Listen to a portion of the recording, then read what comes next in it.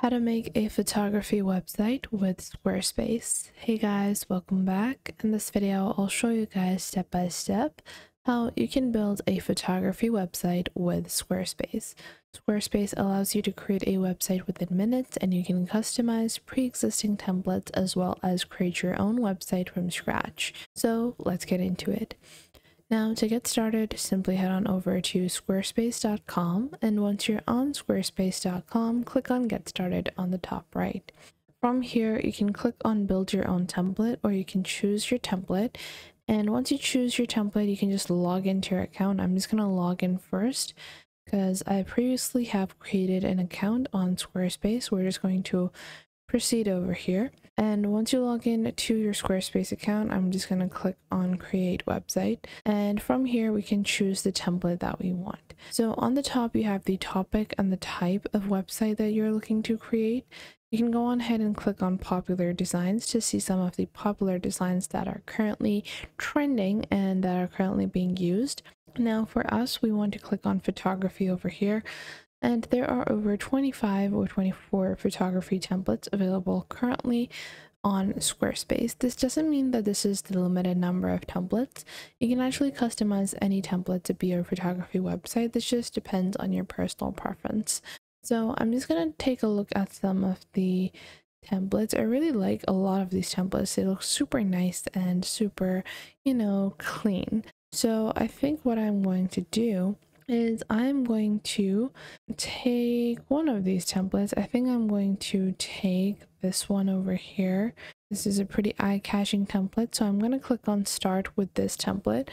And what it's going to do is that it's going to load up the template so I can begin customizing it to my own. So once we do that, you can see you have your site.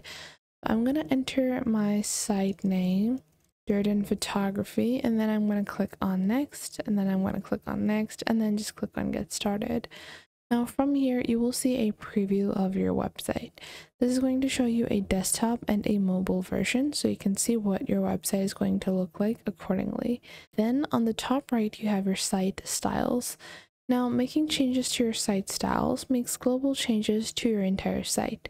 This can help you in making sure your entire website looks cohesive and a similar color scheme, font scheme, and a similar type of visual look is achieved.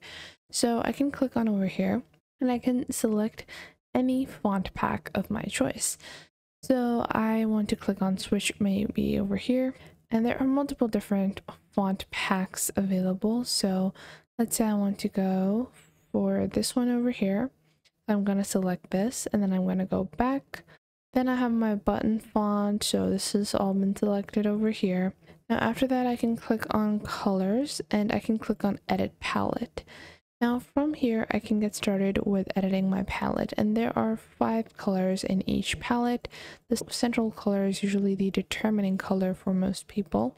So let's say I want this to be a pink and the next one, I'm going to take this as a pink and then I'm going to go for the next one over here like so. And then just going into the final color like this. And then from here, I'm going to select our lighter colors. So it's a very pale pink and then white. Now, after I have chosen my color scheme, I can proceed. If you scroll down, you can actually build your color scheme from some of the pre-existing presets. You can also do this via a image and from a color as well. Now I'm going to scroll back and once I've created my palette, I can get started with my theme. So you have multiple different themes. So light like this one, we have our bright A1 theme, so you can choose whichever one you prefer. It's going to show you all of the different settings that come along with each theme. So I think I'm going to go with a light preset like this one. It looks pretty visually stunning to me. And now once I have customized some of my basic settings, I'm going to close this over here. Now, once I have created some of my basic presets, I'm just going to click on save on the top right and I can begin editing each individual element. So to do that, you can go into your left panel and you can see you have a website guide if you ever feel like you want to get some more help. But on your top you have your blog section. Now from here if i click on this this is going to show me you know my main navigation panel and the sub pages that are going to be linked. Then we have our shop or not linked section and then we also have a utility section now i'm going to delete the shop section from here and i'm going to click on confirm and this will delete the shop section from my navigation panel now from here you guys can see we have our blog section. So this is going to show all of the individual collections that have been created in this template. To make these my own, I can click on the three dots over here and click on settings. And you guys will see the entire blog post. You have your image, your excerpt, your post URL, and more. Then you also have the basic content, which you can edit. Now, going back into our basic homepage, what I'm going to do is I can go on ahead and go into my actual website settings. Now, after that, you can see you have your main navigation and if there's any element you want to edit you're going to click on over here and you can insert your own blank page page layout a scheduling page and other types of pages as well i'm going to enter a blank page and let's say i want to call this my personal mission page. So I'm going to create this over here. Now after that I can choose where I want to place this in my navigation. Let's say I want to place this right here and we're going to delete the shop button. So we're going to delete the link and then we're also going to delete, you know, the actual shop icon like this. So now this is my personal mission page which is currently empty. Now you guys can see in an empty page, you can click on edit and click on add section. Now once I click on add section, you guys can see multiple different sections are available. So let's say I want to give a brief intro in this. Now I'm going to take this over here and then we're going to first off, I'm going to edit our logo.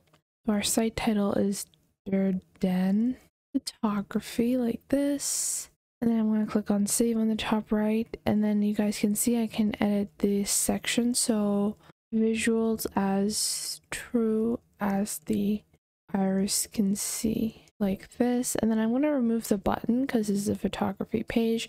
And then I can maybe proceed and add another block and let's say I want to add some text. So we are going to maybe insert a section first. And in that section maybe I want to just go ahead and add some text. So I'm going to make it like this and then once I've added my section I can now insert more information about my photography and you know more on that.